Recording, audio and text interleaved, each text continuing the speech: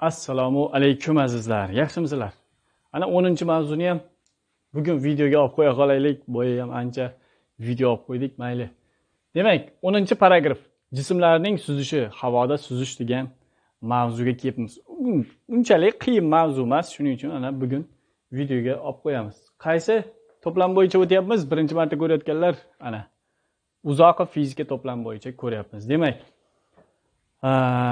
nima deydi? Youtubeda ko'rayotganlar mana video ma'lumotni orqasiga mana o'zi video ma'lumotlariga telegram kanalimiz guruhimiz ko'rsatilgan. Ana shu telegram kanalimizda mana shu videolarni yuklab olsanglar bo'ladi.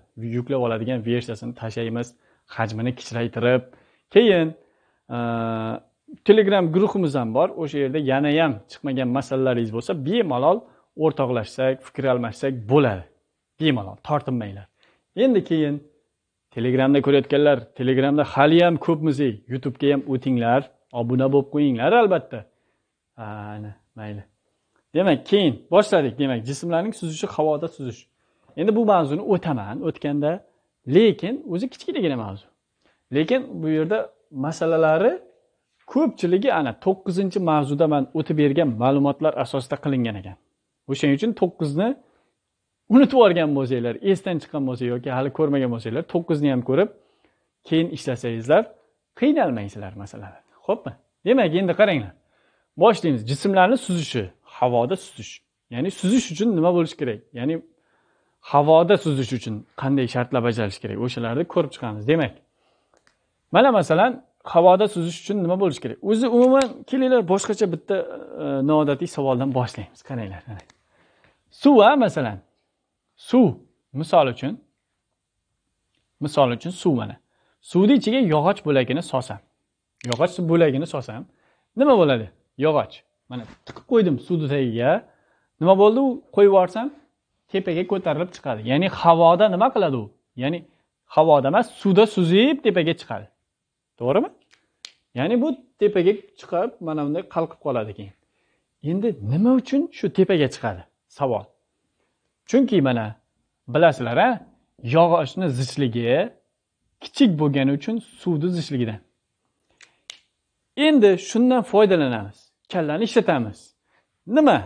Qilsak havoda suza olamiz. Demak mana bu yerda bizda qanday muhit bor? Havo bor to'g'rimi mana? Endi shu yerda e, havo deylik. Ho'p ana havoda suza olishimiz uchun mana bu ro havo zichligidan ko'ra kichikroq zichlikli narsa suzadida endi. Havoda ham ya'ni tepaga ko'tarilish uchun. Havo shari bo'lib tepaga ko'tarilish uchun havo sharini ichiga nima quyishim kerak? Mana bu havoni zichligidan ko'ra kichikroq bo'lgan gazni qamashim kerak. To'g'rimi? Ya'ni e, bo'lmasa bu uchmaydi. Ya'ni mana bu yerga shunday gaz qo'yaman. Mana bu gazni zichligi havoni zichligidan nima bo'lishi kerak? Kichkina bo'lishi kerak. Gazni zichligi havoni zichligidan kichkina bo'lishi kerak. Bo'lmasa bu narsa uchmaydi. Ro gaz deyapman buni ro havo deyapman. Tushunarlimi? Endi o'sha buni ko'tara oladigan kuchi yoki boshqa boshqa narsalarni hisoblashimiz kerak. Ya'ni qancha yukni bu ko'tarib ucha oladi shunda. O'shalarni hisoblashni ko'ramiz mana qaranglar. Boshida yozamiz birinchi holat. Havo sharini qobig'i hisobga olinmaydigan. Ya'ni havo sharini qobig'ini massasini umuman hisobga olmang deydigan masalalar bo'ladi. O'sha uchun keltirib chiqaramiz boshida maylimi? Havo qabig'ini massasi umuman hisobga olinmaydigan holatda. Qanday bo'ladi? Mana yuqoriga qanday kuch ta'sir qiladi? Arximed kuch ta'sir qiladi yana.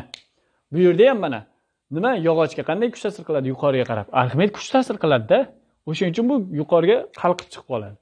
Demak yog'ochni zichligi suvnikidan kichkina bo'lgani uchun. Demak biza shunday gaz solyapmiz. Havoni zichligidan kamroq zichlikli e, gazni qamayapmiz o'shaning uchun u sekin ko'tarilib yuqoriga chiqishga harakat qiladi. Tushunarlimi? Endi qarang. Mana ko'ryapmiz havo sharini qobig'ini massasi umuman hisobga olinmaydigan holat. Demak yuqoriga qanday kuch ta'sir qiladi? Arximed pastgachi. Mana bu gazni og'irligi. M gazji. Mana gazni og'irligi borda baribir. O'sha gazni og'irligi pastga ta'sir qiladi. Demak ko'taruvchi kuchimiz nima bo'ladi? F. Ko'taruvchi kuchimiz ana yuqoriga bo'ladi albatta yuqoriga yo'nalgan bo'ladi. F ko'taruvchi kuchimiz lekin o'sha nima bo'ladi mana? F ga f arximetni qo'shib mjni qo'shsam nima bo'ladi u? Suza oladi. Ya'ni nolga tenglasak keyin ya'ni f ga kelinglar shundan ketaylik. F ga qo'shaman f arximetni и ayiraman mjni to'g'rimi? Teng nima bo'ladi? Nimaga unaqa qilyapmiz? Yo'q. Bu natijaviy kuch hosil qiladi buni. Unaqa qilmaymiz xato bo'ladi bu. Demak natijaviy kuch nima bo'ladi mana? F arximetdan mjni ayirsam mana bu f degan natijaviy kuch yuqoriga paydo bo'lib qoladi. Nimaga? Mana bu gazni zichligi havoni zichligidan kichkina bo'lgandan keyin arximet kuchi kattaroq bo'ladi gazni o'zini og'irligidan. Shuning uchun tepaga ko'tarib ketib qoladi. Bu yerda ham shunaqa. Arximet kuchi mana bu yog'ochni og'irligidan mgsidan katta bo'lgani uchun tepaga ko'tarib ketib qolyapti. Tushunarlimi? Demak natijaviy kuch mana bu f bo'ladi. Mana shu f. F arximetdan mgni ayirib tashlaganimiz. F arximet minus m gaz j. Endi buni nima qilamiz? Arximet kuchi nimaga teng? Yozamiz yana qaytadan. F teng. Mana bu ro havo v. Mana bu sharni hajmi bo'ladi mana shu. Sharni hajmi ko'paygan j.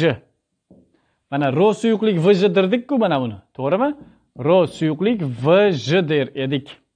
Ya'ni suyuqlikni zichligini olardik. Endi bu yerda havoni zichligini olyapmiz. V jism derdik. Endi havo qobig'ini massa e, nimasini? Hajmini olyapmiz. Havo sharini hajmini. E buni teng qilib qo'yamiz. Minus nima bo'ladi? Gazni og'irligi ro gaz v bo'ladi. Ya'ni gaz qancha hajmda? O'sha shar qancha hajmda bo'lsa o'shancha hajmdagi gaz turibdi mana. Tushunarlimi ko'paygan jsi bor mana. Mni o'rniga rovni qo'yib yubordik roni faqat gazni zichligini olamiz. Tushunarlimi? Endi v gaz e, v bilan jni chiqarsam. V gaz deb mana. Mayli yozamiz f teng vjni chiqarsak ro havo minus ro gaz qoladi. Ana. Demak mana shunaqa ekan. Tushunarlimi? Qanday holatda? Havo qobig'ini massasi hisobga olinmaydigan holatda mana shunaqa ekan. Nima shunaqa ekan? Mana shu havo sharini ko'tarish kuchi deb yozib qo'yasizlar buni. Havo sharini ko'tarish kuchi deb qo'yasizlar. Qanday holatda? Havo shar qobig'ini massasi hisobga olinmaydigan holatda. Tushunarlimi? Bo'ldi. Endi hisobga olinsa nima bo'ladi? Hisobga olinsa endi mana bu yerda hozir aytaman. Ikkinchi holat. Yozasiz siz havo sharni qobig'ini massasi hisobga olinsa qanday bo'ladi? Deb yozib qo'yasiz. Endi bu holatda ana if ya'ni endi pastga yana bitta mj paydo bo'ladi. Qobig'ini mjsi havo qobig'ini massasi. Boyagi shar va mana bu savatchalarni massasi bo'ladiku. O'shani massasida boya mana bu ham matodan qilingan bo'ladi uni ham o'zini og'irligi bor. Tushunarlimi? Shuning uchun uni ham hisobga oladigan masala bor. Endi judayam bir ekonomichniy materialdan qilingan bo'lsa hisobga olinmay ketadilar. Ya'ni ko'tarish kuchiga nisbatan umuman judayam kam bo'ladi. Massasi o'shaning uchun hisobga olmay ham ketaveradi. Tushunarlimi? Demak f deganimiz endi e f arximetdan ikkita emjini ayirib tashlayman gazni emjisini ayirib tashlayman va qobiqni emjisini ayirib tashlayman e j. Ana shunda qoladi qandaydir natijaviy kuch yuqoriga qarab f. Mana bu. Mana e f arximet kuchdan ikkalasini ham ayirib tashladim. Endi nima bo'ladi? Yana boyagi e f arximet teng. Bu nimaga teng? E, f arximet teng debman. F teng. Ro havo v j bo'ladi. Buniki yana o'sha ro gaz vj bo'ladi. Minus mj ya'ni m qobiq j bo'ldi tamom. Endi buni ham soddalashtirib qo'ysak f teng vjlarni chiqarib yuborsak nima bo'ladi? Vjlarni chiqarib yuborsak. Xo'sh ro havo minus ro gaz bo'ladi. Ana minus keyin nima bo'ldi bularga? M qobiq j bo'ladi ana. Bo'ldi mana. Demak bu ham havo sharini ko'tarish kuchi ekan. Tushunarlimi? Bu ham havo sharini ko'tarish kuchi ekan. Qanday holatda? Havo qobig'ini massasi hisobga olinadigan holatda bu. Mana o'zi bitta nimaga farq qilyapti mana? Ikkalasi bir xil faqat qobig'ini ham og'irligini ayirib tashlaymiz havo qobig'ini massasi hisobga olinsa. Nimani topish uchun? Havo sharini ko'tarish kuchini topish uchun. Tushunarlimi qancha massali yukni ko'tara oladi desa e, o'shani emjiga tenglab ishlayverasiz. Tushunarlimi mana shuni общий oldin ko'tarish kuchini topasiz keyin m yuk deysiz bo'ldi. Tamom. Yoki ko'tarish kuchi qancha desa to'g'ri o'ziga qo'yib qo'yaverasiz bo'ldi. Demak keyin yana bitta holatni tushuntirib ketay. Qiynalmaysizlar shunda. E, fizikadan bezib qolmasliklaringiz uchun. Keyin sizlar aytgancha bir e, u yoq bu yoqqa tavsiya ham qilinglar bu kanalimizni. Ko'proq odam ko'rsin. Qancha ko'p onlayn shogirdlarimiz bo'lsa biza shuncha mamnun bo'lamiz. Ya'ni ayrimlar so'rayapti biza уже yechimlarni ham qilib bergan masalalarni so'rayaptilarda masalan xabari yo'q hali video darslarimizdan aytib turibmiz ey baraka topgir mana video darslarimizni ko'rib boring. Maylimi? Sizlar ham aytinglar. Yaxshi bo'ladi. demak keyin yana bitta holat. Mana masalan ko'pchilikni qiynaydi mana shu holat ham. Suvni ichida deydi misdan yasalgan yoki bir temirdan yasalgan bitta narsa muallaq holatda suzib yuribdi deydi. Shunaqa bo'lishi mumkinmi? Savol. Suvni ichida biror bir metalldan yasalgan narsa suzib yurishi mumkinmi? Ha? Mumkin deyayotganlarga qarasak qanday holatda? Ular darrov biladi ichida kovak bo'lsa mana bunaqa kovak bo'lsa. Ya'ni shar sharni faqat boyagi nimasi bor? Ustida ozgina qalin metali bor. Ichi bo'm bo'sh tushunarlimi bu yoq bo'm bo'sh. Faqat mana bu yerni massasi borda bu uzuk emas bu baraka topkurlar shar bu. Bu bo'sh joyi ko'rinmaydi buni. Man hozir nima qilyapman? Kesib sizlarga ko'rsatyapman shu narsani. Ana mana shunaqa muallaq holatda suzib yursa deydi mana buni zichligini topib ber deydida mana mavzu kelinglar bitta videoni ko'rib yuboray. Olyaptimi? Olyapti ekan otangga rahmat deydimi? Kamerajon san ham foydali ishlar qilyapsan. O'zimni telefonimdan aylanay deb qo'y. Demak qanday holatda bu muallaq holatda turadi? Savol. Hm? Muallaq holatda turishi uchun buni yuqoriga ko'taruvchi arximed kuchi f arximed. Pastga bosuvchi imjiga nima bo'lishi kerak? Teng bo'lishi kerak. Qarang tasavvur qiling mana masalan arqonni u yog'idan siz tortyapsiz bu yog'idan man tortyapman. Agar biza teng kuch bilan tortsak man tortib ketamanmi yo siz tortib ketasizmi? Hech kim tortib ketmaydi. Shu yerda turaveramiz agar ikkalamiz ham teng kuch bilan tortib turgan bo'lsak. To'g'rimi? Demak bu ham joyida tinch turishi uchun buni bu yoqqa tortib turgan emji bilan uni u yoqqa ko'tarib turgan farqi nima bo'lishi kerak? Teng bo'lishi kerak. Tinch bo'lishi uchun nima bo'lishi kerak edi? Nyutonni birinchi qonuni bo'yicha? Ha? Nyutonni birinchi qonuni. Jism tinch turishi uchun unga ta'sir qiluvchi kuchlar e, teng ta'sir etuvchisi nol bo'lishi kerak yoki hech qanday kuch ta'sir qilmasi kerak degani. Hech qanday kuch degani shu teng ta'sir etuvchisi nol degani. Ya'ni f arximet minus emj teng nol bo'lishi kerak.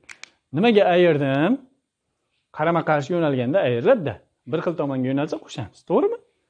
Ana demak f arximet emjga teng bo'lishi kerakligi mana shu yerdan kelib chiqadi. Ana shunday holatdagina bu tinch turadi. Endi qarang.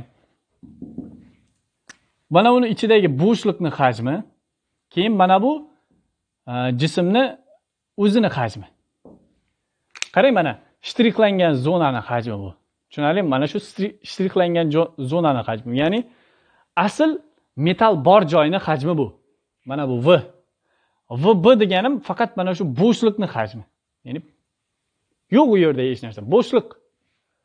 Endi qarang if arximetni olayotganimda mana ro suyuqlik v j deymanku o'sha v ga nima qo'yaman? Mni olayotganimda ro jism v faqat mana bu jismni olaman mana. Chunki massa qayerda bor? Faqat mana shu yerda bor massa mana. Mana shu shtrixlangan joyda bor massa. Boshqa joyda yo'q. Mana bo'shliq bo'shliqni olmayman. Jismni olaman. J. Ana jlar nima qiladi? Ketadi. Endi mana u vga nima qo'yaman? Degan savol tug'iladi. Endi o'sha yerda mana ro suyuqlik vni o'rniga bo'shliq va mana bu jismni hajmini yig'indisini qo'yasiz. Chunki bo'shliq mana bu e, nima arximed kuchi nimaga ta'sir qiladi? Botib turgan hajmga ta'sir qiladi. Mana shu botib turibdimi hamma joyi? Demak bu bo'shliq ham o'sha metalni ichidaku ichida sharni ichida. Demak bo'shliq va jismni hajmini qo'shsam umumiy metalni boyagi hajmi kelib chiqadi. Tepasi bilan birga. To'g'rimi? Ichidagi bo'shliqni hajmi bilan boyagi metal bor joyini hajmini qo'shsam. Ana demak v bo'shliq plyus v jism deb yuboraman. Teng ro jism v jism. Mana shu tenglama orqali nima kerak bo'lsa topib olaverasiz tushunarlimi? Mana shu tenglama orqali bunaqa masalalarni chochib tashlaysiz. Mana shu tenglama bilan. Bo'ldi sizlarga mana yetkazmoqchi bo'lganlarimiz shulardan iborat edi. Qadringiz va qaddingiz baland bo'lsin deydimi? Ana shunaqa. Demak bu mavzuyimiz ham tugadi ekan. Bo'ldi ana. Demak keyingi darsida ko'rishguncha yechimda ko'rishguncha deylik. Yechimda ko'rishamiz dastlab